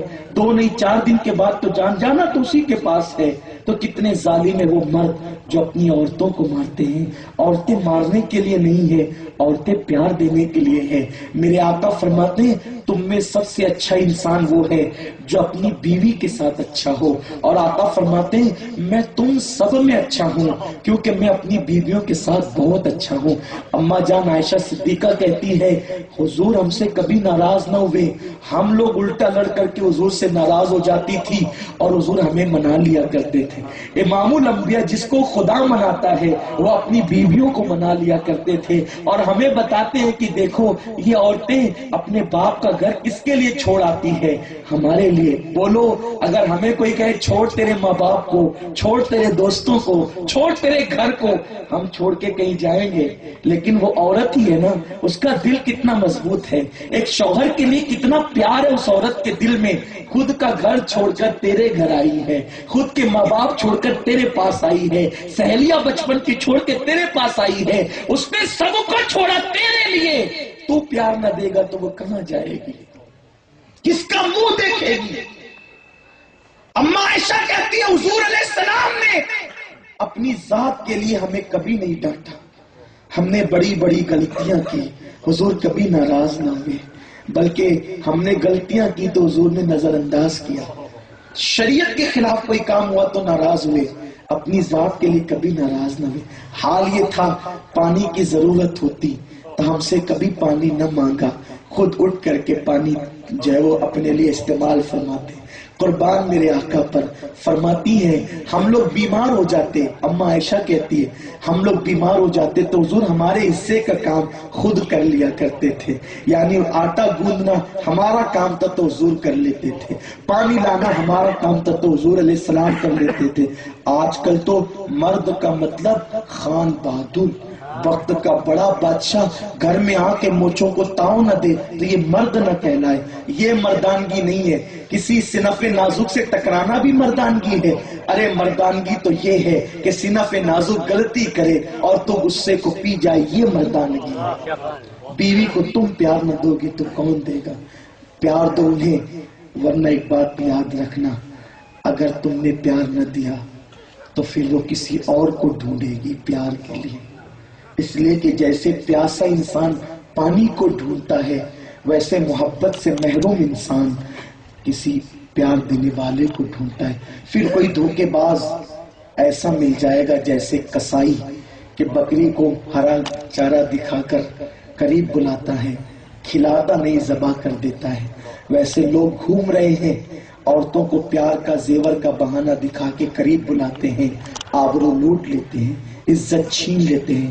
آج کل یہ واردات پورے ملک میں عام ہو رہی ہے کہ شادی شدہ عورتیں دوسروں کے ساتھ چکر چلا رہی ہیں۔ جب لوگوں نے کہا اس عنوان پہ تقریر کرے تو میں نے اس پہ اسٹڈی کی تو پتا چلا کہ قصور اس میں عورتوں کا کم ہے، مردوں کا زیادہ ہے۔ کیوں؟ رات کے تین تین چار چار بجے تک فلمیں دیکھیں گے، دوستوں کے پاس بیٹھیں گے، ادھر ادھر ٹپے ماریں گے اور عورت گھر میں سسک رہی ہوگی۔ تب آپ مجھے بتائیں کہ جب اس کے نفس کی بھوک لگے گی تو اس کو کون پورا کرے گا؟ اللہ کے رسول علیہ السلام نے ایک صحابی کو پوری رات نماز پڑھنے سے منع کیا۔ اگر عورت کی حق تلفی ہوتی ہو تو پوری رات نماز پڑھنے سے حضور نے منع کیا۔ آپ کو پتا ہوگا، آپ نے سنا ہوگا علماء سے۔ میں کوئی نئی بات نہیں کر رہا ہوں۔ آپ سن چکے ہیں۔ ایک صحابیہ کی شادی ہوئی۔ تو آقا کریم علیہ السلام نے ان سے پوچھا، کیسی ہو؟ تو انہوں نے، چونکہ صحابیہ تھی، شکایت کرنے کی بجائے شکر کیا اور شکر کے لہجے میں شکایت بھی کر دی۔ یا رسول اللہ اللہ کا بڑا شکر ہے، مجھے اتنا نیک شوہر ملا ہے کہ پوری پوری رات وہ مسلح پہ گزار دیتا ہے۔ اب ہمارے سامنے کوئی آ کر بیٹی یہ کہے کہ وہ پوری رات نماز پڑھتا ہے، تو ہم تو مثال دیں گے، دیکھو وہ فلاں کا شوہر پوری رات نماز پڑھتا ہے۔ لیکن ہماری عقل کتنی ہے، علم ہی کتنا ہے۔ جیسے اس صحابیہ نے کہا، حضور وہ تو پوری رات نماز پڑھتے کا بلا اس کو۔ فرمایا بلا اس کو۔ جب وہ آئے تو کہا کیا تم مجھ سے زیادہ اللہ سے ڈرتے ہو۔ آقا نے تم مجھ سے زیادہ اللہ سے ڈرتے ہو۔ ان کی گردن جھک گئی۔ کہا، میں اپنی بیویوں کا حق بھی ادا کرتا ہوں، نمازیں بھی پڑھتا ہوں۔ پوری رات مسلح پہ نہ گزارنا، اپنی بیوی کا بھی حق ادا کرنا۔ اس لیے کہ رات مسلح پہ گزارنا نفل پڑھتے ہوئے اور بیوی کا حق ادا کرنا عبادت کے اعتبار سے، ثواب کے اعتبار سے دونوں برابر برابر۔ دیکھا، نفل نماز کو بیوی کے ساتھ گزارنے کے برابر قرار دیا یہ ہمارا مذہب ہے۔ ہم مسلمان ہیں۔ ہمارے رسول نے سب کے حقوق سکھائے۔ اس لیے ختم کرو اختلافات۔ اگر بیوی سے اختلاف ہے، ناراض ہو جائے نا بیوی، منا لو۔ اس لیے کہ منانے سے عزت نہیں جاتی۔ ارے، منانا یہ بڑوں کا کام ہوتا ہے۔ روٹ جانا یہ بچوں کا کام ہوتا ہے اور منانا یہ بڑوں کا کام ہوتا ہے۔ اس لیے روٹنے والے مت بنو، بنانے والے بنو۔ منانے والے بنو۔ میرے آقا مناتے تھے، ہم کون ہوتے۔ آقا کی سنت سمجھ کے مناؤ گے تو اللہ سو شہیدوں کا ثواب عطا فرمائے۔ کوئی ناک چڑھائے گا تم سے، تم خود اس کے دروازے پہ پہنچ جاؤ۔ کا چھوڑ یار گستا تھوک اور چل ساتھ میں۔ اس لیے کہ ہم دونوں عاشق رسول ہیں۔ اگر ہم ایک دوسرے پہ ناراض ہوں گے تو حضور ہم پہ ناراض ہوں گے۔ اور یہ بات ہم نے کس سے سیکھی؟ جس اہل بیت کی غلامی کا ہم تم بھرتے ہیں۔ جن کے پرچم کے نیچے قیامت کے دن ہمیں جمع ہونا ہے۔ دنیا میں جن کے فیضان کرم سے رہنا ہے، ایک مرتبہ میرے آقا، میرے مولا حسن اور میرے مولا حسین بچپنے میں دونوں کا جھگڑا ہو گیا۔ اب بھائی، جھگڑا تو ہر جگہ ہے۔ کوئی یہ کہے کہ ہمارے گھر جھگڑا نہیں ہے، تو ہم کہیں گے کہ جب مولا حسین نے اپنے بھائی سے لڑا، بچپنے میں لڑا۔ تو بھائی بھائی لڑ سکتے ہیں، لڑائی ہو سکتی ہے۔ اس لیے کہ کبھی کبھی لڑائی بھی کچھ کسی کو سکھا دیتی بھئی، اگر ان میں جھگڑا نہ ہوتا آپس میں، تو میں آج یہ روایت کیوں بیان کرتا؟ اور آپ سن کر کے کیوں بدلتے؟ تو جھگڑا ہوتا ہے، کسی کا گھر جھگڑے سے خالی نہیں ہے۔ بڑے بوڑھوں سے ہم نے سنا ہے اپنے کہ جہاں دو برتن ہوتے ہیں، آواز تو آتی ہے ٹکرانے کی۔ تو جب وہاں جھگڑا ہو سکتا ہے، جہاں پر جھولا جھولانے جبریل آتا ہے۔ جب وہاں جھگڑا ہو سکتا ہے جہاں فاطمہ کا دودھ پیا جاتا ہو۔ جب وہاں جھگڑا ہو سکتا ہے، جہاں علی مرتضی کی گود ہوتی ہو۔ وہاں جھگڑا ہو سکتا ہے، جہاں مصطفیٰ کریم کی تربیت و شفقت ہوتی ہو۔ ہونے والی بات تھی ہو گئی، لیکن بات ہے بچپنے کی، کوئی جھگڑے کو دلیل نہ بنائے۔ میں جو کہنا چاہتا ہوں صلح کو دلیل بنائے، جھگڑے کو نہیں۔ کیونکہ جھگڑا بچپن کا تھا۔ جھگڑا ہو گیا۔ دونوں بھائیوں نے طے کر لیا، ہم ایک دوسرے سے بات نہیں کریں گے۔ جھگڑے کے بعد بات بند کرنا فطری چیز ہے۔ ہم بات نہیں کریں گے۔ پھر کیا ہوا؟ کہا، ٹھیک ہے۔ امام حسن، امام حسین سے بات نہیں کرتے۔ مولا حسین، امام حسن متبا سے بات نہیں کرتے۔ کیا ہوا پھر؟ مولا حسین کو عمر میں چھوٹے تھے۔ امام حسن متبا سے۔ مولا حسین کو نانا کی حدیث یاد آئی۔ ایک خط لکھا، بھائی جان، تین دن ہونے والے ہیں۔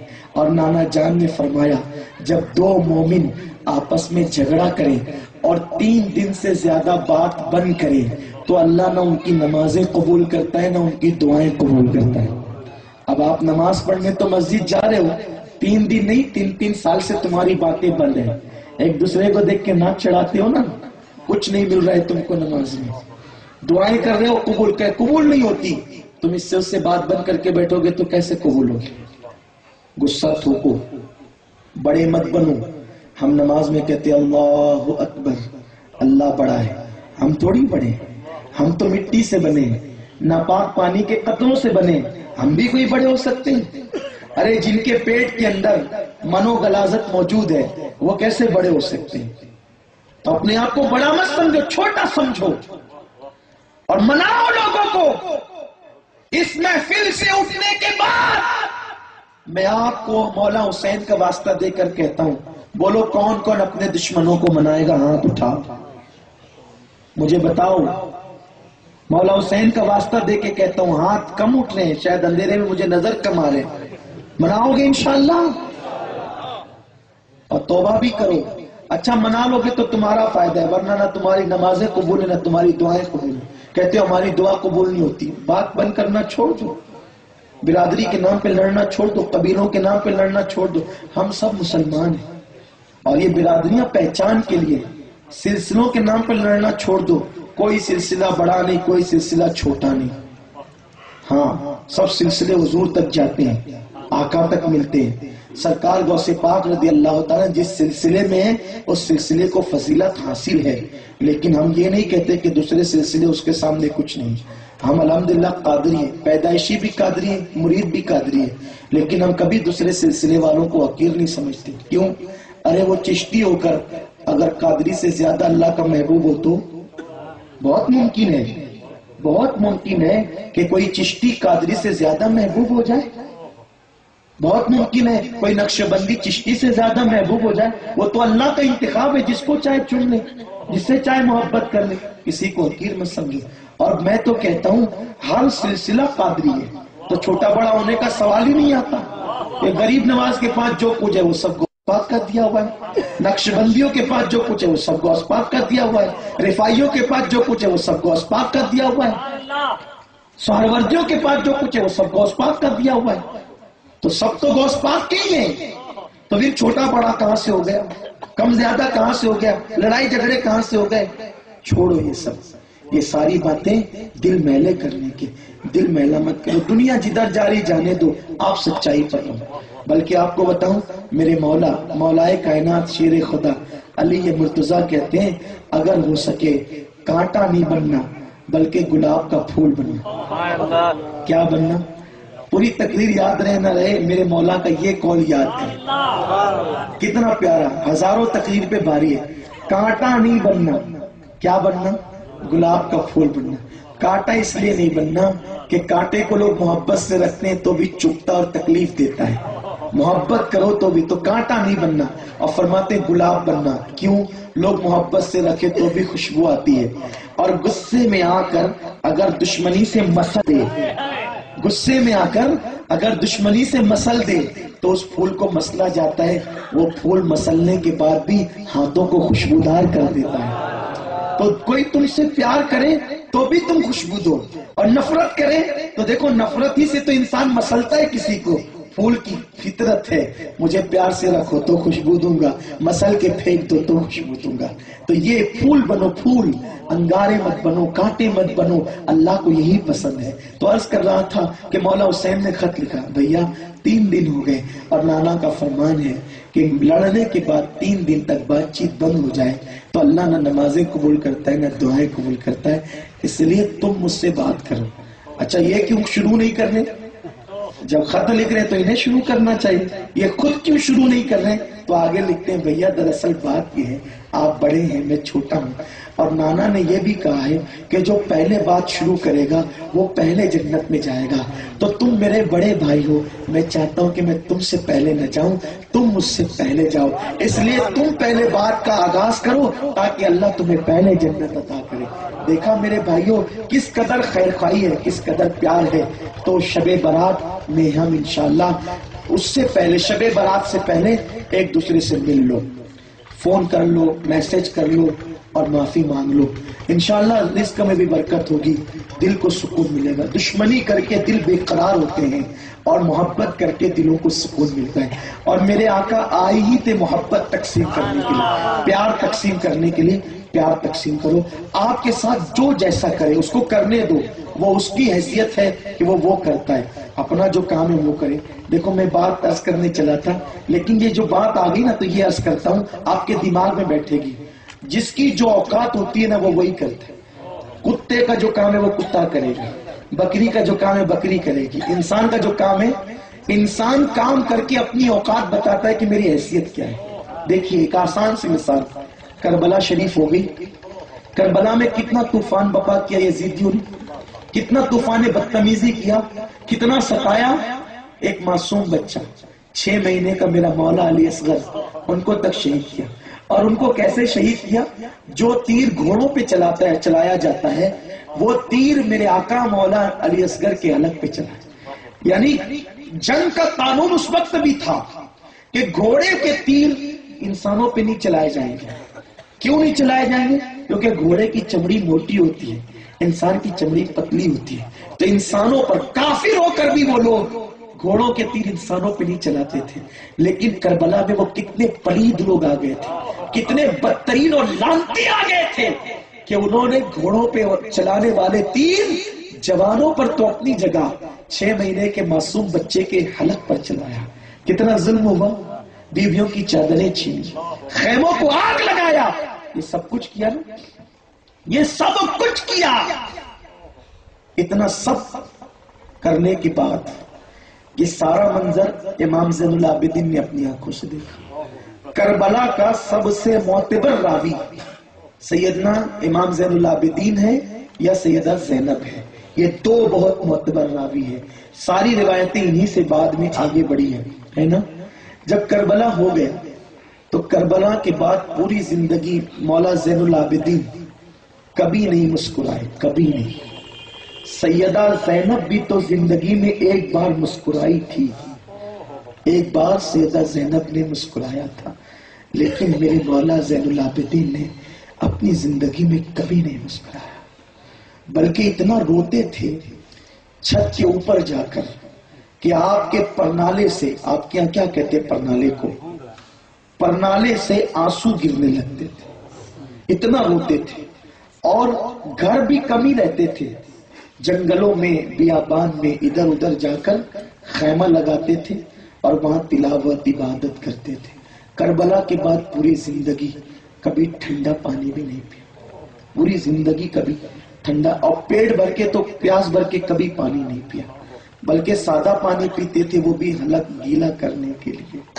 کبھی آپ نے پانی جائے وہ پیٹ بھر کر نہ پیا، پیاس بھر کر نہ پیا اور خیمہ ادھر لگایا، پھر عبادت کی، سوچا کوئی دوست ملنے نہ جائے، کوئی عقیدت من نہ جائے، کوئی مرید نہ جائے، پھر وہ خیمہ اکھاڑا، پھر دور چلے گئے۔ اس طرح دور جاتے جاتے ایک دن ایسا ہوا کہ آپ رات کے وقت قرآن کی تلاوت کر رہے تھے۔ ایک اجنبی مسافر بھاگ کے ہوئے آیا، اس کی سانسیں جو ہے یعنی کہ منتشر تھی، وہ ہانپ رہا تھا۔ اور وہ جو ہانپ رہا تھا، اس لیے ہانپ رہا تھا کہ ان دنوں اہل بیت میں تو صبر کیا کیونکہ اللہ صبر کو کوئی مومن صبر کرے، اللہ صبر کو ضائع نہیں کرتا۔ تو جب عام مسلمانوں کا صبر اللہ ضائع نہیں کرتا، تو اہل بیت کا صبر اللہ کیسے ضائع کرتا؟ تو اہل بیت کو ستانے والے بعد میں بہت بدترین موت مرتے ہیں۔ بڑا برا انجام ہوتا ہے ان کا۔ اس لیے میں اکثر مشورہ دیتا ہوں اگر اہل بیت کی طرف سے ہمیں ستایا جائے تب اللہ کی آزمائش سمجھ کر کے چپ رہے، لیکن کوئی جواب نہ دے۔ یہ بات حضرت امام یوسف نبہانی نے لکھی ہے کہ اللہ کی آزمائش سمجھنے کا کوئی سید ہم سے ٹکراتا ہے، ہمیں گالی دے، ہمیں مارے، ہم سے ناراض ہو جائے تو ہم اس یہ سوچے کہ بھئی اللہ کی آزمائش ہے، ہم نے جواب نہیں دینا۔ کیوں؟ کیونکہ مقابلہ شہزادوں شہزادوں میں ہوتا ہے، مقابلہ آقا اور غلام میں نہیں ہوتا۔ ہے تو ہم غلام میں کیسے مقابلہ کریں؟ اپنا تو کام ہے، ہم احترام کر سکتے تو کریں، احترام نہیں کر سکتے تو خاموشی سے نکل جائیں۔ لیکن ان کا دل نہ دکھائیں، بڑا سادات کا بڑا احترام کریں۔ گجرات والوں تم بڑے خوش نصیب ہو کہ تمہارے دیہات دیہات میں سادات موجود ہیں۔ کثرت ہونے کی وجہ سے کبھی بے ناقدری نہ کرنا، کیونکہ جس نعمت کی ناقدری کی جاتی وہ نعمت چھین لی جاتی ہے۔ دوسرے صوبے والے ترستے ہیں کاش ہمارے محلے میں بھی سادات ہوتے۔ آپ کو بتاؤں، سادات کے پڑوس میں رہنے والا وہ خوش نصیب ہے کہ اگر اس نے سادات کا حق جانا تو جنت میں حضور اس کو اپنا پڑوس عطا فرمایا تم بہت خوش نصیب ہو، تمہارے گلی محلے میں سادات رہتے۔ ہیں لوگ نکتہ چینی کرتے ہیں جی یہ داڑھی نہیں رکھتے جی یہ نماز نہیں پڑھتے۔ جی ٹھیک ہے، نہیں رکھتے نا داڑھی۔ ان کے لیے سادات اصلاح کرنے کے لیے۔ نماز نہیں پڑھتے، ان کے لیے سادات ہیں۔ بتانے کے لیے ہم کہیں گے ہمارے بھائیوں کو، غلاموں کو کیا حق ہے؟ آپ کو کیا حق ہے؟ آقاؤں کی کی اصلاح غلام نہیں کرتے۔ اس لیے آپ نے آگے نہیں بڑھنا، ورنہ ایمان کو خطرہ ہوگا۔ بتاؤں آپ کو، ایک مدینہ شریف میں سید صاحب رہتے تھے اور ایک بہت بڑے محدث تھے۔ اور سید صاحب داڑھی نہیں رکھتے تھے۔ تو محدث صاحب نے ایک دن کہہ دیا ہاں وہ بڑا بڑا سید بنتا ہے، داڑھی تو نہیں رکھتا۔ بزرگ خواب میں کہا کہ تو نے اس کی کٹی ہوئی داڑھی دیکھی، یہ نہ دیکھا کہ میرا بیٹا تھا۔ اس کی کٹی ہوئی داڑھی دیکھی، یہ نہیں دیکھا میرا بیٹا تھا۔ ادھر ان کو آ کر کے ڈانٹ رہے محدث صاحب کو کہ تو نے ایسا کہہ دیا؟ مجھے تکلیف ہوئی۔ اور ادھر ان کے خواب میں جا کے کہتے ہیں، بیٹا، جب تو میری اولاد ہے، تو اگر میری سنت پر تو عمل نہ کرے گا تو کون عمل کرے اگر تو داڑھی رکھ لیتا تو وہ تانا کیوں دیتا؟ تو دیکھا دونوں کو حضور یوں کہہ رہے ہیں، تو اس لیے اپنے ہاتھ نہیں رنگے، گستاخی کے اندر ہاتھ نہیں ڈالے، بہت احتیاط سے جیے، اس لیے کہ ہمیں ایمان سلامت لے جانا ہے، عقیدہ سلامت لے جانا ہے۔ تو بات دور نکل رہی ہے۔ تو عرض یہ کر رہا تھا کہ وہ جو دوڑ کر آنے والا، جو ہانپ رہا تھا، وہ کون تھا؟ وہ شیمر تھا، شیمر۔ کون تھا؟ شیمر شیمر زل جوشن جس کو کہتے ہیں۔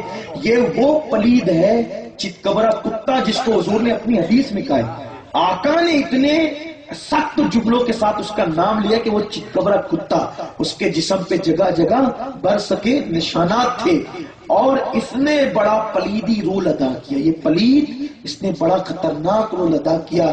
یہ وہی بدترین انسان ہے کہ اللہ اکبر، جس نے مولا حسین کی گردن پر تلوار رکھی۔ مولا حسین کی پیٹ پر اس نے اپنے پیر رکھے۔ یہ وہی پلید ہے، پلید۔ تو جس وقت یہ دوڑتے ہوئے آیا تو اس کو چراغ جلتا ہوا نظر آیا جنگل میں۔ تو یہ خیمے کے پاس آیا اور خیمے کے پاس آ کر کے دیکھا کہ بزرگ قرآن کی تلاوت کر رہے تو جیسے چہرے پہ نظر پڑی، یہ پہچان گیا۔ کیونکہ مولا زین العابدین اتنے خوبصورت تھے کہ لوگ بیان کرتے ہیں کہ اندھیرے میں اور تاریکی میں بھی لوگ آپ کو پہچان لیتے تھے کہ یہ مولا زین العابدین ہے اتنے حسن والے تھے آپ کہ آپ کے چہرے کی نورانیت اندھیرے میں بھی پہچانی جاتی تھی۔ یہ کوئی میں مبالغہ نہیں کر رہا ہوں، یہ حقیقت ہے۔ اور سچائی ہے یہ، اور یہ وہ سچائی ہے جس کو دشمن بھی کبھی ٹھکرا نہیں سکتے۔ تو اس نے پہچان لیا، لیکن چونکہ ضرورت اس کو تھی اور میرے اللہ کی شان ہے کہ جو اہل بیت سے جتنی نفرت کرتا ہے، خدا مجبور کر کے ان کو شہزادوں کے دروازوں پہ لاتا ہے تاکہ ان کی اوقات بتائے کہ اوقات کیا ہے۔ اللہ اکبر، تو اس نے پہچان تو لیا۔ اور پہچان کے کہتا ہے، اے بزرگ، میں مسافر ہوں، مجھے پانی کی بہت پیاس لگی ہے۔ کیا آپ مجھے پانی پلا سکتے ہیں؟ کون؟ جس نے معصوم علی اصغر کو پانی نہ دیا تھا۔ آج وہ میرے مولا زین العابدین کی چوکھٹ پہ کھڑے ہو کر کہتا ہے، میں مسافر ہوں، میں بہت پیاسا ہوں، آپ مجھے پانی پلا سکتے ہیں۔ جس نے بیویوں کے دوپٹے اتروائے تھے، خیموں کو آگ لگوائی تھی، وہ پانی کے لیے کھڑا تھا۔ مولا زین العابدین نے مشکیزہ اونڈیلا ایک کٹورا پانی اس کے ہاتھ میں دے دیا کالے پی لے۔ جب اس نے پی لیا تو کہا کہ بہت پیاسا ہوں، بہت دور سے دوڑ کے آ رہا ہوں۔ کیا ایک کٹورا اور مل سکتا ہے؟ میرے مولا نے ایک کٹورا اور دیا۔ اس نے گٹا گٹ وہ بھی پیا کہا اور مل سکتا ہے۔ پورا مشکیزہ اٹھا کر کے دے دیا۔ لے، پی لے اور سیراب ہو جا۔ جب اس نے پورا مشکیزہ پی لیا اور اس کا پیٹ بھر گیا۔ تو اب وہ ان سے کہتا ہے، آپ نے مجھے پہچانا کہ کون ہوں؟ پانی پی کے کہتا ہے کہ مجھے پہچانا میں مولا زین العابدین نے کہا، تجھے نہ پہچانوں گا تو پھر کس کو پہچانوں گا؟ تو ہی تھا نا، آخری وقت میرے بابا حسین کی پیٹ پر نے پیر رکھے تھے۔ جس کو نبی اپنی پیٹ پر بٹھاتے تھے، اس پیٹ پر تو نے پیر رکھے تھے۔ تو ہی تھا نا، معصوم علی اصغر کے حلق پہ تیر چلانے کے لیے حرملہ کو تو نے ہی حکم دیا تھا نا۔ تو ہی تھا نا میرے شہداء کی لاشوں پر گھوڑے دوڑانے کا حکم دینے والا، تو ہی تھا نا دریا پر پیرے لگانے والا۔ تو شمر ہے نا شمر اس نے گردن نیچے کر لی ہو یہ تو مجھے پہچان گئے، نام سے پہچان گئے۔ چہرہ دیکھ کر ان کو تو میرا نام بھی یاد ہے۔ فرمایا، مجھے سب یاد ہے۔ ایک ایک لمحہ یاد ہے جو مجھے رلا رہا ہے۔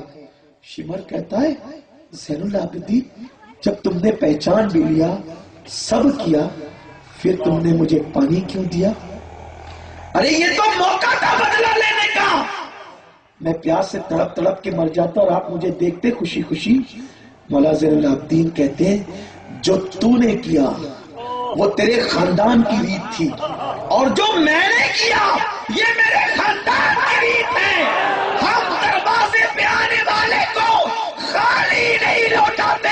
اگرچہ ہمارا دشمن ہی ہو، ہم غلامان اہل بیت ہیں۔ ارے، جب باپ کے قاتل کو دروازے پہ آنے کے بعد پانی کی خیرات عطا کرتے ہیں، تو کیا ہم آپس کے جھگڑے نہیں مٹا سکتے؟ یہی اہل بیت کا پیغام ہے، یہی سچائی ہے۔ تو شب برات آنے سے پہلے پہلے بیوی سے صلح ہو، بھائیوں سے صلح ہو۔ ماں باپ کا دل دکھایا ہے۔ زندہ ہے تو اسے معافی مانگو۔ انتقال کر گئے تو قبروں پہ جا کے معافی مانگو۔ پڑوسیوں کو ستایا ہے، ان سے معافی مانگو۔ چھوٹے نہیں ہوں گے۔ اگر آقا کی بات تم نے مان لی، اللہ تمہاری عزت میں اضافہ کرے گا۔ اللہ مجھے آپ سب کو توفیق عطا فرمائے۔ دوران گفتگو، کوئی غلطی ہوگی تو اللہ معاف فرمائے۔ وما علینا الا البلاغ۔ السلام علیکم ورحمۃ اللہ